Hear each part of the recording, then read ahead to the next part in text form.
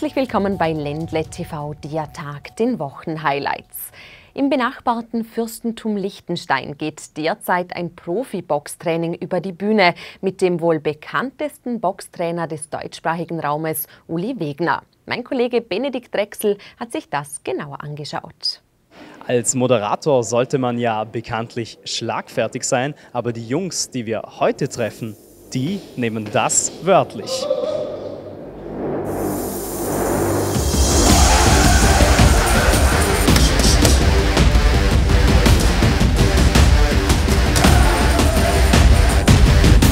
Seit fünf Wochen wird im PGP Boxing Center hart geschuftet. Zahlreiche namhafte Athleten trainieren im Industriezentrum Gamprin-Bändern in Liechtenstein. Aber auch Anfänger aus der Region sind willkommen. Ja gut, es liegt, es liegt, mir schon am Herzen, dass wir in der Region viel tun, ist gar keine Frage, aber wir sind schon ausgezeichnet worden, wie ihr da oben seht, als, als Leistungsstützpunkt vom BDB. Ähm, wir, machen, wir bieten hier Trainingslager an, so wie es jetzt gerade läuft mit Uli Wegner und seinen Jungs. Äh, aber hier kann jeder kommen. Also vom der, der Boxen lernen will, vom Amateur bis zum Profi, ist alles möglich hier. Der Boxtrainer-Ikone Uli Wegner hat es hier so gut gefallen, dass er gleich seine Truppe zum Trainingslager nach Liechtenstein mitgebracht hat. Wegner, welcher schon den ehemaligen Weltmeister Sven Ottke trainierte, sieht in diesem Boxzentrum riesiges Potenzial. Ich kann hier nur lobende Worte sagen wir fühlen uns, auch die Sportler, alle sehr wohl hier. Und ja, hier kann was entstehen, was vielleicht einmalig in Liechtenstein wird, dass wir hier Spitzenleistungen herausarbeiten können. Zu Spitzenleistungen gehört auch Disziplin. Da unterbricht Wegner auch einmal kurz das Interview, um für Ruhe zu sorgen. Seid doch mal ruhig, Mann. Schuss! Soweit Benedikt Drechsel aus der neuen Bockstätte im Fürstentum Liechtenstein. Wir wechseln nun zur Kultur. Im Kunsthaus in Bregenz gibt es ab diesem Wochenende eine neue Ausstellung zu bewundern. Raffaela Vogel zeigt mit ihrer aktuellen Ausstellung im Kup Bregenz Bellend bin ich aufgewacht, einen Kunstwerkparcours, der eindrucksvoll spannungsgeladene Situationen ins Licht rückt. Zwei Jahre intensives Schaffen münden in einer neuen Ausstellung, einer neuen Weltordnung. Das war ja ähm, eine Zeit für mich die letzten zwei Jahre, wo ich sehr, sehr viel ähm, gemacht habe, ausgestellt habe und auch wenig Zeit hatte, mal so, so innezuhalten und zu schauen, was, was mache ich da eigentlich. Und da mir die Zeit gefehlt hat, dachte ich, könnte ich das auch thematisieren als Kunstwerk. Inspiration findet die junge Künstlerin beispielsweise in den Werken der Soul-Ikone Nina Simon und trifft damit das Spannungsfeld zwischen Haben und Nicht-Haben. Ja, das ähm, bezieht sich eigentlich auf eine Erzählung von Nina Simon in einem Lied And God No. Und da hat sie halt äh, sehr auch ausführlich beschrieben, was sie hat und was sie nicht hat. Und das wollte ich aufgreifen und auf mein Dasein anwenden und habe das sehr stark umgedichtet. Schwere, Gewicht, Druck und Belastung kommen in ihren Werken zum Ausdruck, physisch als auch mental.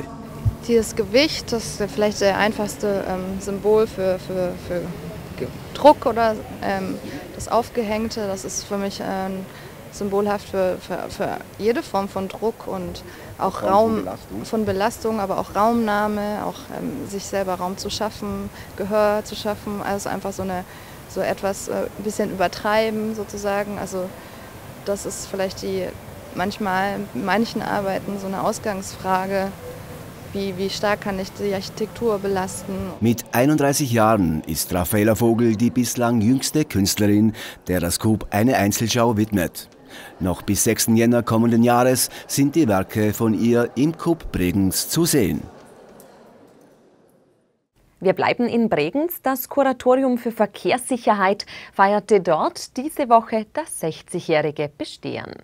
Das Kuratorium für Verkehrssicherheit wird 60 und veranstaltet zu diesem Anlass eine mehrtägige Sicherheitstour am Platz der Wiener Symphoniker in Bregenz.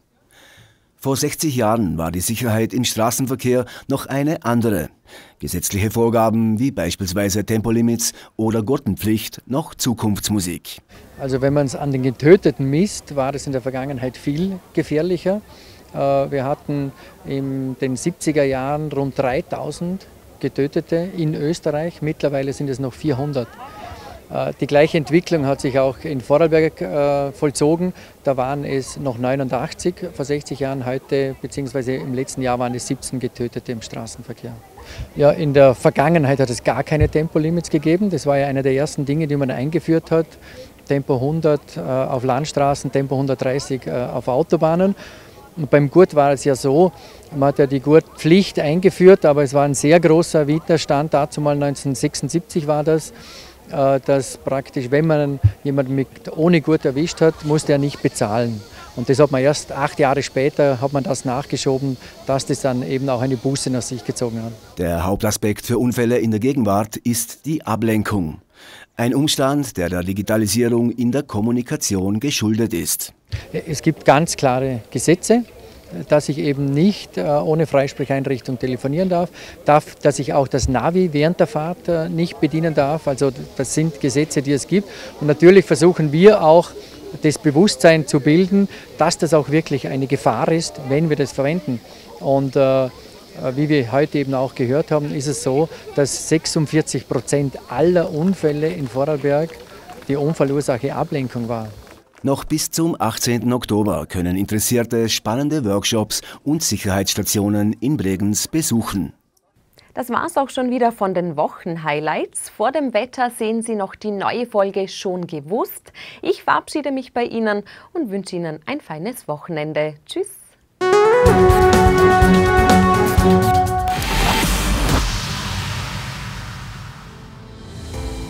Schon gewusst, dass der bekannte Baumaschinenhersteller Liebherr im Jahr 1976 seinen Standort in Vorarlberg gründete? Im Liebherrwerk Nenzing wurde vor kurzem sogar eine Weltpremiere gefeiert. Im April wurde das erste akkubetriebene Drehbohrgerät präsentiert.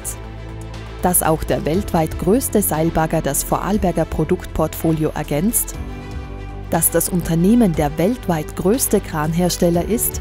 Am Standort Nenzing werden Raupenkrane mit bis zu 300 Tonnen Tragkraft hergestellt.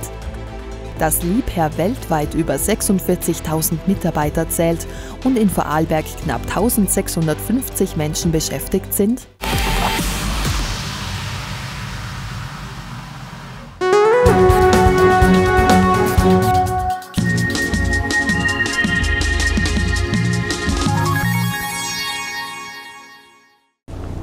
Heute zusammen beim Ländle TV Wetter. Am Sonntag ein kräftiger Föhnsturm steht uns bevor und der treibt die Temperaturen in die Höhe.